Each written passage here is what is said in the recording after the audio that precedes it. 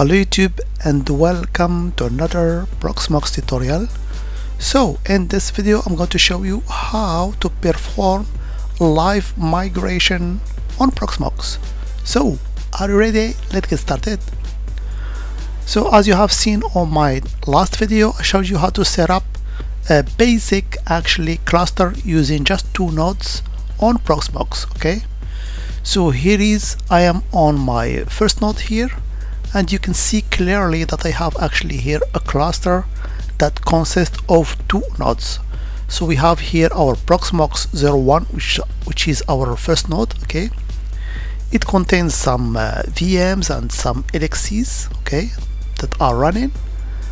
And here at the bottom I have my second node which called Proxmox 02 okay?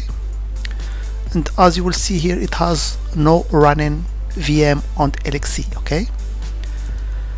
And of course if I click on the data center here you can get a global view about this uh, cluster here. So we have the status which is as you can see here okay. So we have actually our two nodes. We have our virtual machine and LXC containers okay? And you get here also at the bottom the nodes ID and IP addresses of it okay? So as I told you I'll try to live migrate for example this LXC container here called Debian from this node 01 to node 02 okay? Actually there are two types of migration. There is what we call an offline migration which means that we have to stop the running virtual machine and just transfer it to the other node. Or we can effectuate a live migration which means that the machine is still running and it will be migrating without losing connection to the other node okay? So here as I told you I'll be testing using this LXC container called Debian okay? So which has an IP address as you can see here uh, that one that 109 okay? And also uh, for the resources you can see it's disk that has just 8 gigabytes okay? So just for testing purposes okay?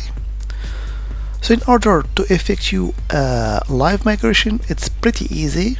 All you have to do is to right click on the VM on the LXC that, that you want to migrate here and there is here an option called migrate okay? So if I click on it I will get this window here okay? So the source node is of course our Proxmox 01 and the target node is the Proxmox 02 okay? So this is very simple. And the mode here is restart mode okay?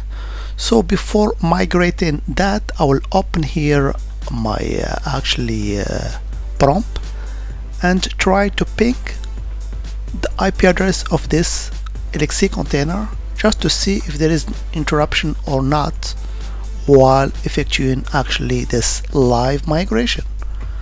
Okay so it's still running here ping so now I will try to migrate it. So I will click on this migrate here. And from the beginning you will see that uh, we have an error here. Migration aborted duration zero time okay? Storage is not available on Proxmox 02 okay? So here you will see that in order to effectuate actually live migration uh, you have to have some storages that have the same name on both nodes okay? So here for my first Proxmox I have here storage called storage. Okay let me see. With capital S. So this is so if I click on it you can see this storage is actually has as name storage with a big S okay? So here reside all the VM and LXC container for my first node. And if I go to my second node which is Proxmox 02 so here as you can see it has no storage uh, name with capital S okay? So let's create actually storage on this node 02 okay? So I will click on it and I will go to the disk to see just so here you can see for Proxmox 02 which is my second node I have actually an available disk uh, called slash dev slash sd1 okay so let's try to initial this uh, disk with GPT okay?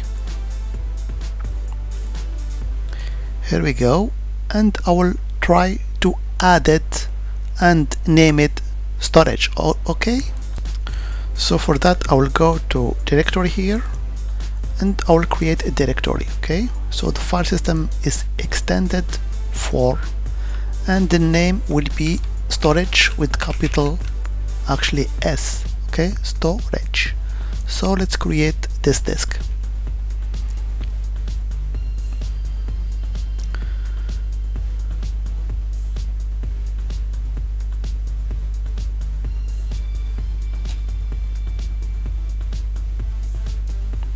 Okay so now we have actually create storage. And you can see it appears here on my Proxmox 02 which is my second node. So now I have the same name that I have on second node as the first node okay? So let's effectuate now the live migration once again and see if we get this error okay? So I will click on my Debian which is our test10 LXC container and I will do a live migration. So let's migrate it okay so the source is always my Proxmox 01 and the target is Proxmox 02 and let's migrate that.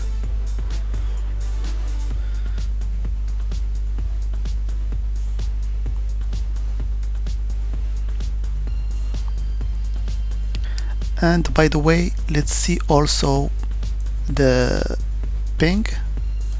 So you can see here we have some uh, actually we lost some pings because it has shut down the actually our LXC container in order to do this uh, migration okay?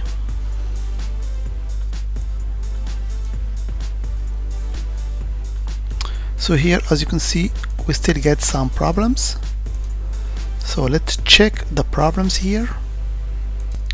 So here the problem that we have is that we don't get actually a bridge called VMBR1 does not exist on this second node okay? So this is actually one of the requirements so let me explain that. So if I go actually to my uh, first node which has the machine if I take a look at the network you can see here that I'm I was using for the LXC container that I migrate I was using as a bridge VBMR1 okay? But if I go to the second node you will notice that I don't have actually this VMBR1 but I have as a bridge name VMBR0 okay? And this is why it has failed okay? The migration has failed but indeed actually we have migrated to the second node. So we can just rename this one from VMBR0 to VMBR1 okay? But for you this is one of the requirements. Before doing any migration you have to make sure that they have the same bridge names okay? So for me let's just I will just uh, actually create another bridge and rename it VBM1 and see if I can start my actually LXC container. So let's create a Linux bridge. So I will call it so it's called by default here. So I can give it for example uh, as IP address is 192.168 for example that one 205 okay slash 24 so okay and I will give it also a gateway but I don't need actually that. So and I can leave other default as it is. Already exists okay yes so let's create. So now our bridge has been created which called vmbr1 let's apply the configuration here. So it's to not to forget that. And I will try just to uh, give it actually a getaway here we go and apply the configuration. Okay so now let's try to start this uh, LXC container which has other resources as you can see here vmbr1 because it's coming from my first node okay? So let's just start it and see if it's working okay? So now if I try to start this LXC container you will notice that I still get this error here. Bridge vmbr1 does not exist okay? So in order to tackle this problem I will try just to uh, actually uh, restart this node here node 02 and see if I still get the same error okay? So let's restart it and see what we get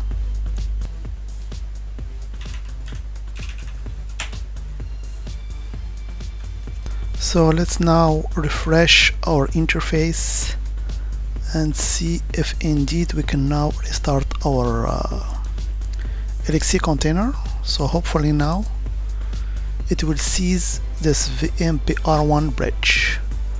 So let's try to start this machine here and see what we get. So you can see I go to the console here you can see that I get connected to my machine. And let's enter here the credentials. And indeed we can reach it. And IP address still remain the same as you can see here that one that 109 okay?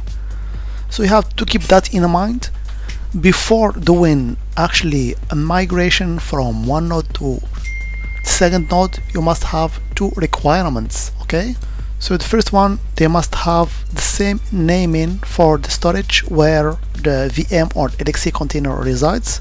So here I have storage called storage and also on the second node I have storage called also storage with capital S, okay? This is the first requirement and the second requirement is that they must also have the same uh, bridge for networking. So for Proxmox 01 it has as a bridge so let me show you that it has a bridge name VMBR1 okay so in the second uh, node it must also a bridge with same name must also exist. So if I go to this uh, Proxmox 02 you can see I have also VMBR1 as name for a bridge. If you don't have actually this uh, bridge naming uh, the live migration will fails okay. So that was just a brief video to show you how to do a migration from one node to another node on Proxmox cluster so if you found this video helpful don't forget to give it a thumbs up subscribe and hit the notification bell so you don't miss any future content and of course if you have any suggestion for future videos drop them in the comment below as always, I hope it has been informative for you and I'd like to thank you for viewing. Bye bye.